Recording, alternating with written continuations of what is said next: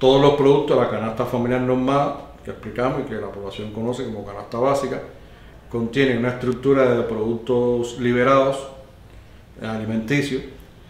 eh, contiene el cálculo también del, del, consumo que realiza comúnmente la población, ya sea a través de los comedores obreros o en la gastronomía, en la red de gastronomía. Y todo es decir, ese cálculo en, en alimentos responde a los requerimientos nutricionales, es decir, la ingesta diaria que está recomendada, debe recibir la población, es decir, los requerimientos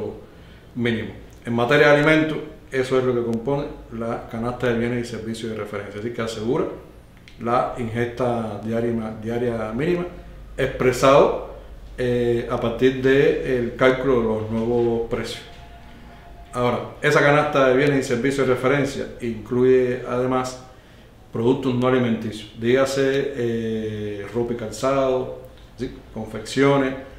eh, incluye también un gasto que pueda realizar la población, un gasto, un cálculo mínimo para servicio o para la reparación y mantenimiento de la, de la vivienda, incluye productos de aseo e higiene, incluye además otros servicios tarifados, como pueden ser el gasto de electricidad, eh, un pequeño nivel quizás para eh, la recreación, diga se puede asistir a un evento deportivo o museo. Incluye también el gasto de, de medicamentos, de medicamentos comunes, es un cálculo que se ha hecho de la estructura de medicamentos comunes, eh, valorado a, su, a, sus precios. Y incluye también, que es parte de la canasta familiar normal, el gasto en combustible doméstico.